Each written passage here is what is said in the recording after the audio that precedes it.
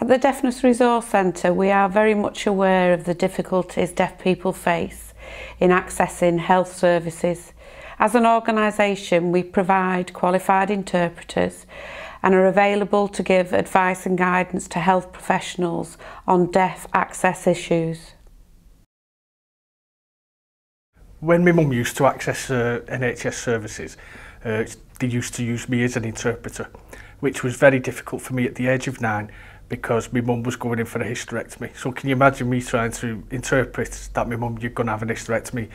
So I would always say, my mum would always say, you know, what did the doctor say? What did I say? I'll tell you later, tell you later. But by the time I got outside the surgery, mum would say, what did he say? And I'd forgot. And my mum would never know what was going to happen to her. I was talking about one of the clients that used to visit every morning to the Deaf Centre because he had really bad arthritic hands and he couldn't physically put his own hearing aids in. So we used to get a member of staff to go down and fit his hearing aids. And he went missing for a while and we wondered where he'd gone. Um, and we found out that he'd actually been admitted to hospital. So we went up to the hospital, found out what ward he was on. And when I went in, he looked quite depressed. He was sort of lying, not sure what was going on. And he sort of held my hand and he, he was worried because he had bruises, they'd been taking blood, he wasn't sure why. So we provided him with a, a personal listener and that's got a microphone with it so we could communicate with him and explain you know what was happening. And it made the experience so much better for the doctors and the nurses because they had full communication. If you had to go for an x-ray they could explain exactly what was happening. So it did make a big difference to him and it'd be really good if we could put some more of these listeners in all the wards in the hospitals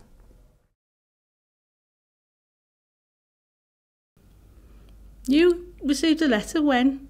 I didn't want to say anything, I'm fed up. I have to go and see the doctor at the hospital. Are you going to go? Well, it's hard to communicate with them.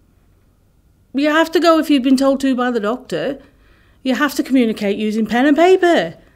It could be something about your medication. Well, when he writes things down, it's hard to understand it. Or maybe they give you a new prescription and you can read what's written on there. I know it can be difficult. Or sometimes when the doctors write, they write it down and it's their handwriting. It's what they write, I just can't understand it. Depending on the doctor, it can be hard to follow and lip read as well when they're speaking to me. I know it can be. I really don't want to go. You have to go. You must go and see the doctor. okay. What should I do? You're ill. I think you should go and see the doctor. When you go, you'll know why they want to see you. Okay, okay. Hello. I've, uh, I've asked you to come here today because uh, I want to review... Oh. Sorry, uh, Mr Cart's asking if I can come sit next to you uh, to help with uh, the sightline to see you. Yes, sorry, yeah. I didn't realise. Hello. Oh, that's better, thank you. Well, I went to the hospital. You know, I wasn't happy about it. I was a bit sort of like, oh, don't want to go. But there was an interpreter there. And I was at, oh, fantastic. They signed for me all the information. I got it. It was great. I mean, previously I would have only understood a little bit. But now I know everything that I need to know about my heart. Everything's fine. They've given me a new prescription. Oh, Whereas before I'd have to read the label and try and figure out what I needed to be doing. But the interpreter told me everything. It was brilliant. I feel a lot better about it now. And the interpreter came from the Deafness Resource Centre in St Helens, and the hospital booked them. So from now on, they've said they will carry on booking the interpreters from DRC, the Deafness Resource Centre.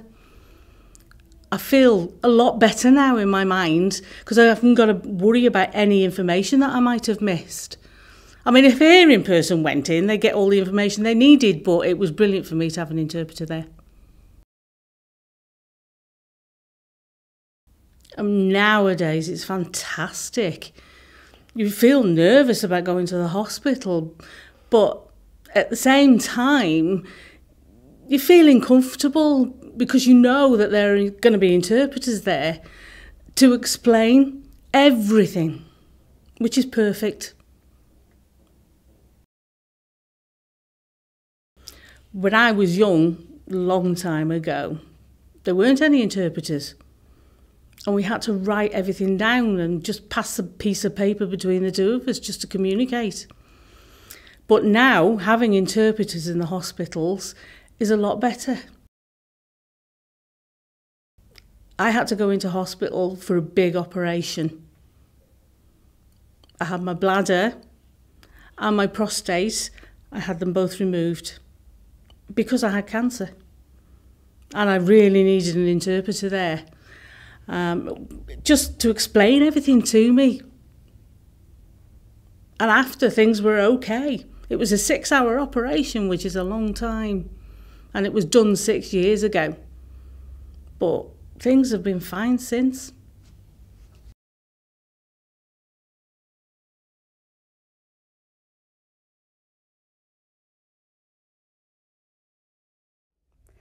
We're very keen to work with health professionals and to support them in ensuring that their services are fully accessible for deaf people.